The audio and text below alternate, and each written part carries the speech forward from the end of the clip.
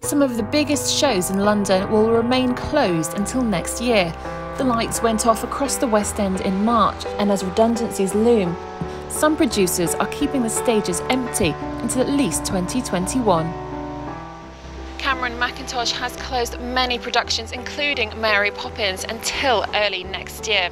And drastic measures will have to be taken in other theatres to make sure that patrons can return again.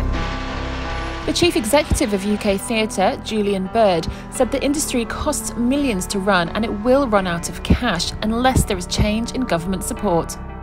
Uh, the theatre is such a massive industry. Uh, and it kind of feels like we're being uh, forgotten about a little bit.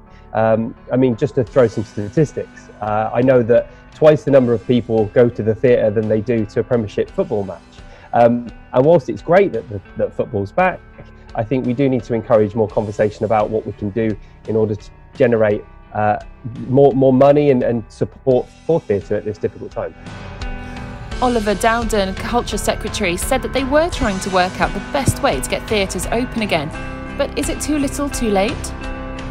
Like, I think it'll be very different. I don't think it'll be the end. I think theatre always seems to find a way to continue in some form or another. And I think the more popular shows like Hamilton, I think at the Victoria, that always is sold out. There's always queues coming in to see it. I think, you know, the, the more popular shows will definitely um, still be there. Um, I think whether it's at a smaller venue or somewhere else, but I think it's more the um, smaller plays or the shorter run plays that might not be there anymore.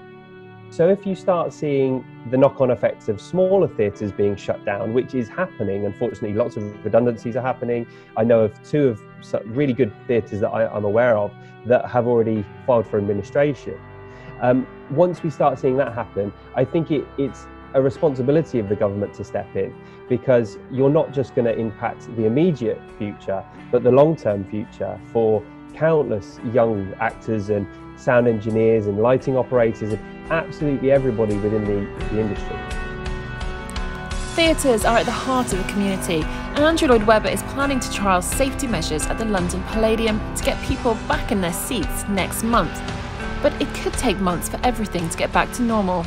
Not knowing exactly when it's going to come back is quite scary, and also kind of thinking how are they going to progress in the future when they do open. Like a lot of theatres are very um, like small and like you know, even like in the lobby area for like um, audience members and then backstage, like really, really tiny spaces. So it's kind of thinking, well, how are they going to be safe for everybody as well to go back into, but also really wanting to go back because, you know, it's our livelihood. It's it's such a big part of London.